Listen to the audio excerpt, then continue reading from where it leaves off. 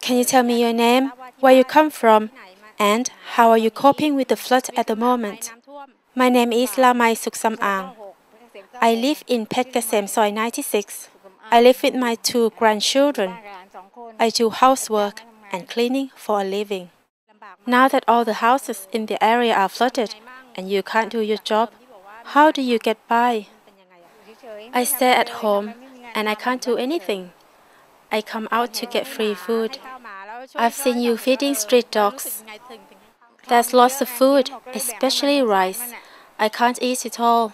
I feel sorry for the dogs, so I give what's left to them.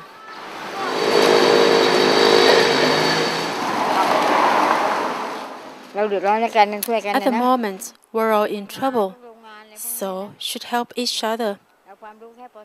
When I was young, my dream was to work in a factory, but I hadn't enough education.